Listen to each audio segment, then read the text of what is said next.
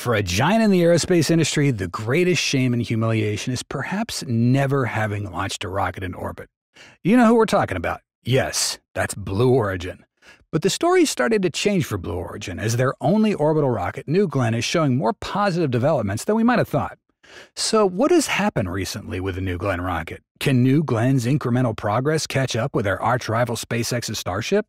What's the core factor behind SpaceX's success that Blue Origin may still only need a few more years to achieve? Let's find out on today's episode of Alpha Tech. After two months of silence since the first cryogenic test of the New Glenn simulator in March, we recently saw Blue Origin showcase a new image of the new orbital rocket simulator on its homepage. We're rolling out our New Glenn simulator again today for a series of Transporter Erector integrated ground tests in preparation for launch later this year. Tests will include powering up the pumps that provide pressure to the vehicle's hydraulic system, validating the ground system supplying commodities to the rocket, and a rapid retract test of the umbilical connections. More to come. Well, this is a positive sign. Alongside the affirmation and promise of a definite launch later this year, Blue Origin is conducting a series of ground tests on its other rocket simulator. However, I don't quite understand why they continually use the simulator for testing. If you have the answer to this, please comment and let us know. Back in March, we saw a perfect representation of the New Glenn rocket simulator, which was erected vertically on the platform and even underwent a cryogenic test to check its structure. What we expected next was a static fire test of the 7BE4 engines in the first stage. But in reality, they're repeating tests with new simulators. Although continuous testing is a prudent approach, it raises the question where's the flight hardware? Can Blue Origin achieve the pace needed to meet the goal of launching by the end of the year? Or will it face another unending delay? Hopefully, in the coming time, Blue Origin will provide satisfactory answers to these questions. Frankly speaking, these recent events highlighted the difference in working styles between Blue Origin and its competitor SpaceX. Indeed, if that were the case with SpaceX's Starship, we would have a much more tangible and clear perspective. After all, the principle of work and continuous innovation is the core factor that's allowed the less experienced private company to surpass Blue Origin by many years. SpaceX has no superior engineering access or smarter people than their competition, BO included. What they do have is a management structure that not only allows innovation and risk taking, but actively encourages it. Elon Musk is plain when he states that the penalty for trying something innovative and failing is low, but the penalty for acquiring a new solution and not being innovative is high, usually resulting in job loss for the individual concerned. In combination with this top driven philosophy, SpaceX designs systems like a tech company would design new software. Traditional aerospace companies are risk averse and will only reveal a new product when they are very sure that the design's finalized and has all the bugs ironed out. They'll spend a huge amount of time designing and redesigning each component with reliability being paramount, and each department is secluded within their own management structure. Design changes that affect another department's work are very difficult to get approved, and anyone who wants to make a significant change has an uphill battle on their hands to get upper management to authorize what may be a risky change. SpaceX, on the other hand, is famous for making huge pivots and design changes at the drop of a hat. Look no further than the decision to build the Starship out of stainless steel when at the time everything was focused on carbon fiber, even to the point where major components were being constructed and tested, and the company was actively recruiting carbon fiber specialists.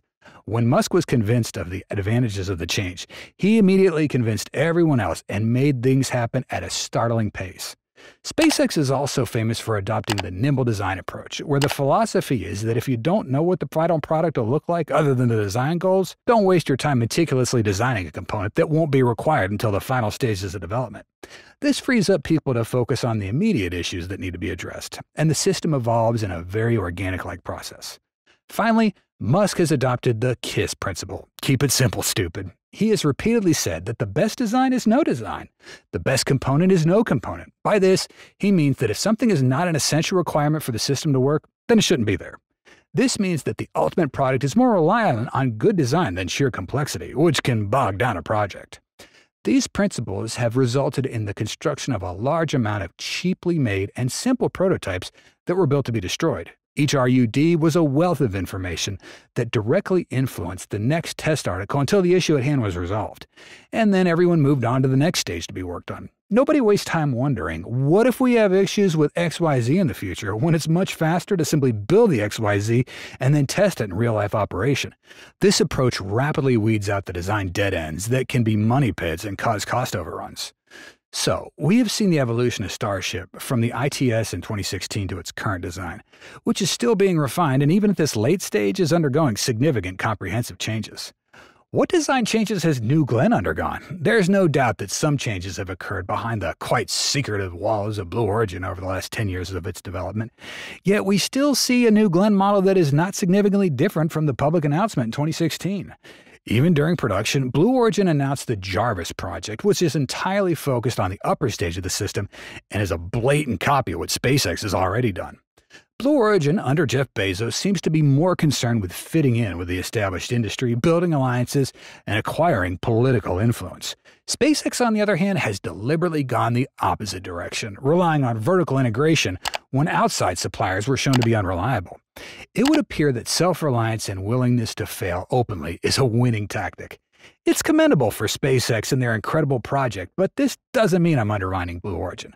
I must say that during the late 2023 and early 2024 period, the company's made significant efforts in developing its New Glenn project with increased public disclosures. A likely reason for this could be Jeff Bezos' decision to change CEOs. At the end of 2023, former CEO Bob Smith officially left Blue Origin and was replaced by Dave Limp, who had previously served as Senior VP of Devices and Services over at Amazon. So now what they need to do is continue to accelerate their work on the new orbital rocket. The initial tests for New Glenn will aim to validate the functionality of Blue Origin's launch pad and ground systems as designed. Hopefully, we will see soon the hot fire tests of the BE-4 engines integrated with the vehicle this summer. Besides, Blue Origin's completing the first stage of its fourth New Glenn, a reusable system that'll land on a barge downrange in the Atlantic. The company in 2022 scrapped plans to use a recovery ship as the New Glenn landing platform. This is easier to operate, and this is all about the cost for us and lowering the cost of access to space. The barge was along the line of doing that, Jarrett Jones, Senior Vice President, New Glenn said. Building on experience operating its reusable New Shepard suborbital launch system, Blue plans to use its New Glenn rockets beginning with the first flight. That sounds aggressive, but it's not, Jones said. Think about how many times we've landed New Shepard right on the dime all the avionics systems, flight systems, and everything that we've learned, we transferred over. Even the people have all come to work for New Glenn, so I feel pretty confident. The New Glenn fleet will initially consist of four first stages, all of which are in production. Blue is building a booster refurbishment facility about one mile away from LC 36 on Central Control Road. Early booster refurbishment will take place at the SLC 36 integration facility. Turnaround time between flights of the first stages is targeted for 30 days. We planned and designed everything to fly within 30 days, but obviously we have to wait for the first flight to determine how quickly we turn around, Jones said. From the landing to the gears and the avionics, the total system has been purpose built for reusability.